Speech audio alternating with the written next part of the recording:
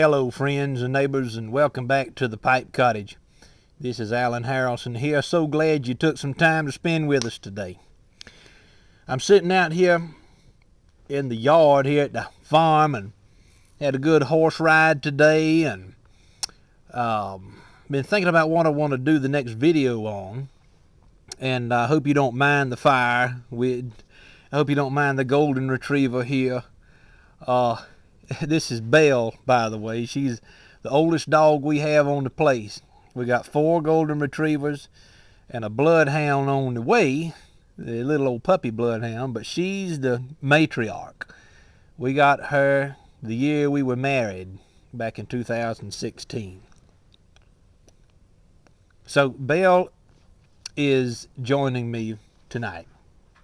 And for those of you who are interested in the pipe, I have cowboy coffee from the country squire.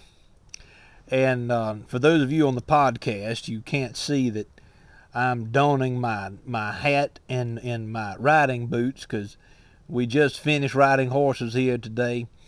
But um, it seemed fitting to, to smoke a bowl of tobacco entitled Cowboy Coffee. And it's an excellent representation of what can be done with dark fired Kentucky leaf uh, I'll just say uh, a thing or two about this blend while I, while we're talking about it.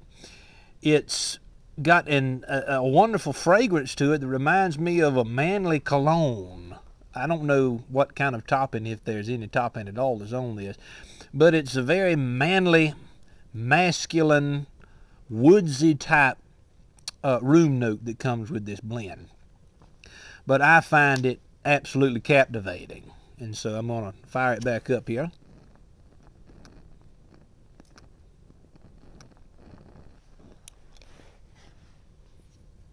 Hmm. That's a good blend. Anyway, I'm smoking it in a Castello 55 uh, pot, which is quickly becoming one of my favorite shapes, and Castello is quickly becoming one of my favorite manufacturers. But the topic for this video, I've got some other things I want to talk about, some products at the end of the video. Not products that we are sponsored uh, to tell you about, not products that um, we're getting any money for. It's just stuff that people have asked about and I want to answer some questions. But for now, the topic of the, the video is sometimes it just doesn't work out. You know, today I was, now there's, we're going to get to pipe smoking in just a minute, but just bear with me on this. Today I was riding uh, my mare. I have a beautiful six-year-old quarter horse mare. Got good pedigree, good line. She's a beautiful horse. And I bought her in October of last year. And at first we had several good rides together and we had we made some good memories together. But over the past six to eight weeks she's been showing some different colors. Um, she's spooked several times when she's on the trail.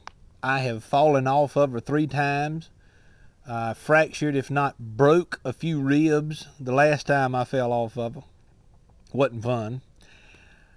Um, she uh, ran away from me when I was saddling her up one day, and she got lost for two nights. Didn't know where she was, and neighbor came and told me that she was in her yard, their yard eating light bread.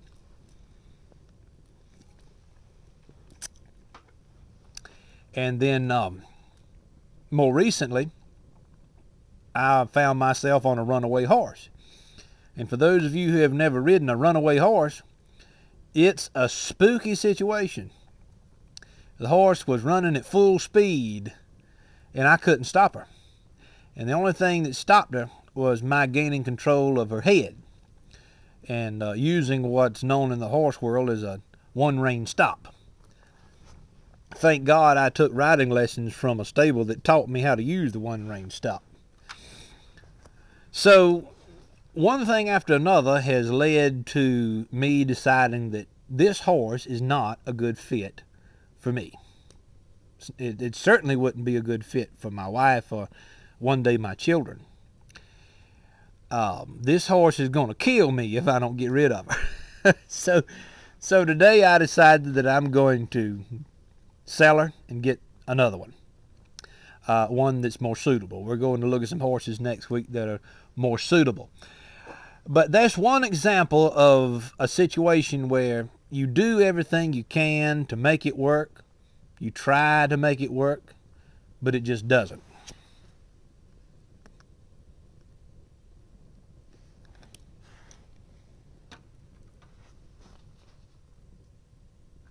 Another example of this, it's not nearly as extended though, but when I was 17 years old, Daddy told me and said, Boy, it's time for you to go hunt a job or sign up at the college. So he lined me up a job with a construction crew. And on that construction crew, it was my job to pick up all the trash and all the scrap wood and put it in a dumpster for the trash company to come pick off from the construction site, you know. I got there the first morning. I drove up my 1973 Chevrolet pickup truck with Flowmaster exhaust. Man, that was a fine vehicle. And woo, I was fit to be tied. I was so happy to be showing up to that job. I said, I'm going to show Daddy exactly what has to happen to become a man. I'm becoming a man here today. Well, I got there about 7 o'clock in the morning, and the boss told me what he wanted done. I said, all right, I can do it. I can do it. I can do it. And I did it for about two and a half hours. About two and a half hours. But about uh, 9.30, 10 o'clock, when I stepped on that first nail and, went, and it went clean through my foot, I said, nope, nope, this ain't a good fit. I wasn't cut out for the construction industry. So I made it home to Mama in time for dinner that day at 12 o'clock. so I told Daddy, I said, that's not going to work out. Construction work wasn't a good fit. Sign me up at the college. And so that's what I did.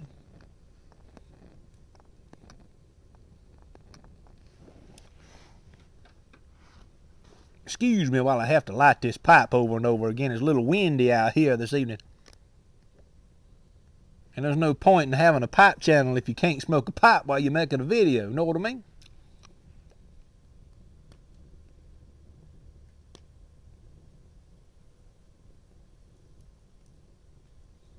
Now, a lot of people don't know this, but I'm going to tell you. I was engaged to another woman when I was about 20, 21 years old. And thank God that didn't work out. But at the time, I thought it was a perfect fit. I thought, man, this is the way it's supposed to be. This woman's going to be perfect for me right here. And we had a couple of different arguments. And uh, there was an old farmer friend of mine called Sam. And I want to do another video on old Sam because he's got a lot that he can teach folks. I want to share you that story about old Sam, but old Sam, you know, he would go to the local cafe, which is about two miles from his house every morning, and have breakfast. And uh, at the time, I'd go down there and eat with him pro probably two or three times a week. He was a row crop farmer, taught me a lot about how to work land, how to plow, and one of the smartest things he ever told me is you can tell the worth of a man by how straight he can plow a row. But this particular morning, Sam and I were in the cafe having breakfast, and I was relaying to him the troubles and trials I was having with the woman who was at that time my fiancée. And uh, by the time we, we were getting ready to go, this old black man who had been sitting at the booth right behind us came up to our table. He had heard the conversation and he told me, he said, Son, a man ought not to have to be slapped in the face but once to know that it hurts. From that day on, I realized that me and that woman just wasn't a good fit. Now, I'm sure you can come up with your own examples in life about people, circumstances, etc., etc., where you can uh, talk about things that just didn't fit well. Maybe it was a a past relationship. Maybe it was a church you attended. Maybe it was, uh, you know, whatever. Maybe it was a horse. but for you pipe smokers out there, I see a lot of discouragement in people who move away from pipe smoking when they first start out because they think it's just a not good fit it's not a good fit. They can't find anything that they enjoy. They haven't found the pipe that they enjoy. They haven't found a tobacco that tastes good.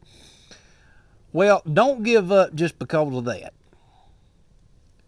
Uh, I have tried for two years to like Haunted Bookshop, but I don't like it. I have tried to like a lot of the esoterica tobacco blends. I just don't like them. There's only one that I would really pay for, and that's Dorchester, a nice Virginia blend. But for the most part, you won't find me smoking Haunted Bookshop, and you won't find me smoking Esoterica, and those blends are touted. They are well respected among a lot of people. So what does that have to do with you? There is no set rule or guidelines about what kind of pipe you should smoke and what blend of tobacco you should smoke. I think that, um, and I've been guilty of this myself. Sometimes we get into this habit of thinking that pipe smokers should all like a particular set of blends and they should like a particular kind of pipe. Some of the best smoking sessions I've had uh, came with me using a $10 Missouri Meerschaum corn gob and a simple house blend from a local pipe shop. Not anything that was nationally known or, or, or, or reviewed on tobaccoreviews.com.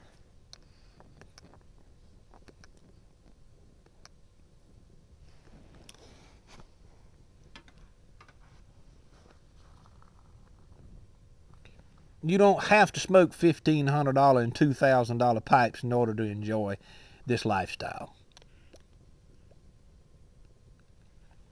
And what I've found is that a lot of the different pipes and tobacco blends that are well respected and well known are not a good fit for me. They're just not. There's a lot of burleys that I just don't like. I've tried to like Solani aged burley flake, but I just don't. But the 2022 edition of Cornell and Diehl's Eight State Burley is one of the probably top five tobacco blends I've ever had.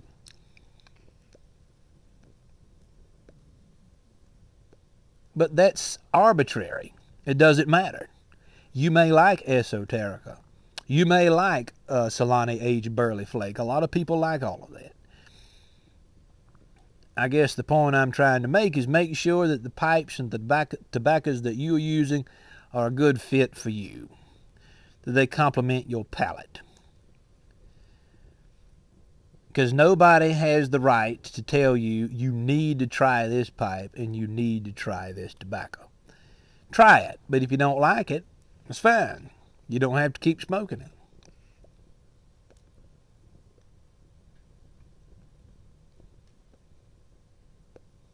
It took me a, a while when I was in my early adult years to learn that it really is not important what other people's opinions are of me unless my opinion of that person is high in and of itself. Um, I've had a lot of friends and a lot of people over the years, including some pipe smokers who had uh, uh, strong opinions about what to smoke and what not to smoke. And um, at the end of the day, I just had to learn to be me. And with your pipe smoking journey, especially you people who are just starting out, and I get so many emails, I'm telling you every day, emails from people wanting to know how to deal with family members who don't want me smoking a pipe, how to uh, get started, what pipes and what tobaccos to use. It's a journey that that not anyone can tell you how to pursue exactly. It's almost like anything else in life. Experience is the best teacher. I was talking to a friend of mine today and we were talking about horses and I told him I said I'll know better next time what kind of horse I'm looking for because I have a better idea now of what I don't want in a horse. Same thing with pipes and tobacco. The more you do it, the more you'll have a better idea of what you like and what you don't like and what you want to spend your money on and what you don't want to spend your money on. So that's the main point of the video today. I just wanted to encourage those people, particularly who are just starting out, uh, that, that sometimes a pipe or a blend or a pipe blend combination is just not a good fit.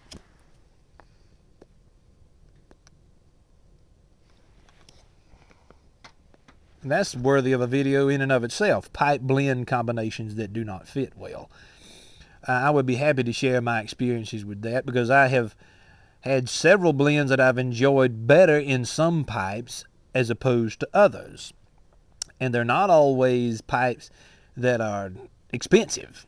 So um, sometimes it just doesn't work out. Now, I've had a few questions about products that I use, and um, several people over the past several videos have wanted to know what kind of lighter I use. I almost always use an IM Corona, uh, old boy. Almost always use an IM Corona. Now, Caribe makes a similar lighter. Um, they're both made in Japan, but the Caribes, they're good. I like them but sometimes the flints in those can be difficult to spark, can be difficult to get started. I almost always have no trouble uh, getting an IM Corona to spark whenever I strike the flint.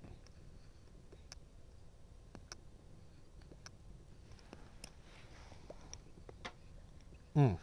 Cowboy coffee, the country squire. That's pretty good.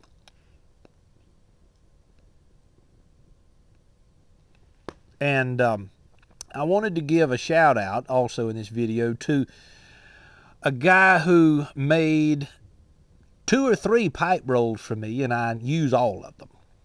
And I want to share that name with you. And and uh, if you're in the market for a good pipe roll, check out Revenant Leather Company. He's on Instagram. His name is David Goldberg. He's out in Wyoming and uh, he makes old west gun belts lots of different leather things you can't see this in the video uh, and you certainly can't see it if you're listening to the podcast but i'll place some photographs of this pipe roll on my instagram page uh, the pipe cottage instagram page and you can get some close-up views of it but the reason i like the well several reasons actually that i like uh, david's work is the stitching on this is exemplary the leather quality is top notch, very top notch. You can fit a full tin of tobacco in here. You can also fit uh, a pouch of tobacco. You can fit uh, one pipe or even two pipes. And you may be thinking, well, it sounds like it's going to be fairly bulky. No, it's not. I can take this pipe roll and put it in a saddlebag when I go out riding horses, or I can stick it in the console of the pickup truck. And it's easy to carry around and use uh, for any type of occasion. You got to have a pipe roll. If you want to enjoy pipes uh, out out and about away from home, I do not recommend just throwing it in a Ziploc bag. Uh, it's it's more classy to have a nice pipe roll. Of course, it's not necessary. It's not necessary. It's just my opinion, but uh, I think that uh, a nice leather pipe roll is old-fashioned. It's it, as I said, it's classy, and it expresses how serious you are about your pipe lifestyle. It really does. It, it, it's an expression of who you are just as much, perhaps, as the pipe is. So if you haven't uh, found a pipe roll that you like yet or you're in the market for one, check out Revenant Leather uh, Company. He's on Instagram, and that's David Goldberg out of Wyoming. I will um, post his uh, contact information in the video description uh, below here um, for this video. Now, uh, this is a strange question that I've gotten, uh, but people want to know what kind of hat I wear. Well, this is my riding hat. I don't wear it every day, but I do wear it on days that I go riding. It's a Serratelli made in Texas. And when I got this hat, um, it did not look like this. I had it custom shaped. It's 100% beaver. So for those who are interested, it is Serratelli. Uh, made in the USA. I am all for American made products. Well, ladies and gentlemen, this is the end of this particular episode. I've got a lot of different topics on my mind that I want to make content about in the coming weeks. But for now, I just wanted to touch base with you. Hope you've enjoyed this brief moment of time with the Pipe Cottage. I am Alan Harrelson. I'm going to enjoy the rest of this cowboy coffee from the Country Squire. And until we meet again, I will bid you adieu. Thank you for stopping by.